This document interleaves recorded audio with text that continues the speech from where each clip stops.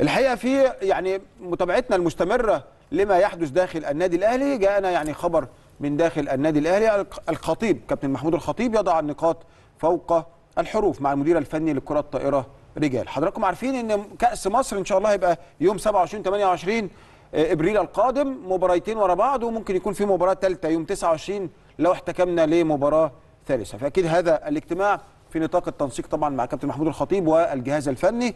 كابتن محمود الخطيب يضع النقاط فوق الحروف مع المدير الفني للكره الطائرة رجال. عقد الكابتن محمود الخطيب رئيس النادي اجتماعا ظهر اليوم مع محمد مصلحي المدير الفني للفريق. الأول للكره الطائرة رجال في حضور الكابتن خالد العوضي مدير النشاط الرياضي. ناقش رئيس النادي أسباب إخفاق الفريق. الأول لكرة الطائرة وخسارته لبطولة الدوري هذا الموسم. بالرغم من توفير كافه احتياجاته وتدعيمه بعناصر متميزة وفقا لرؤية المدير الفني. ورفض الكابتن محمود الخطيب تقليص طموح الفريق في الفوز بكأس السوبر والبطولة العربية فقط وطلب من مصلحي تقديم تقرير شامل وعاجل بكافة النواحي المتعلقة بالفريق.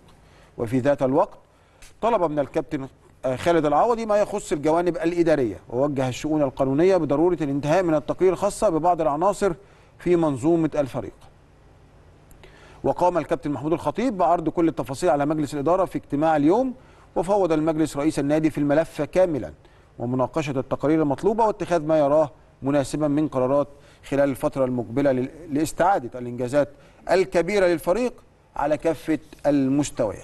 إن شاء الله كل التوفيق لفريق كرة الطائرة وأكيد كابتن محمود الخطيب بيتابع شؤون النادي وكل الفرق الرياضية يعني باستمرار.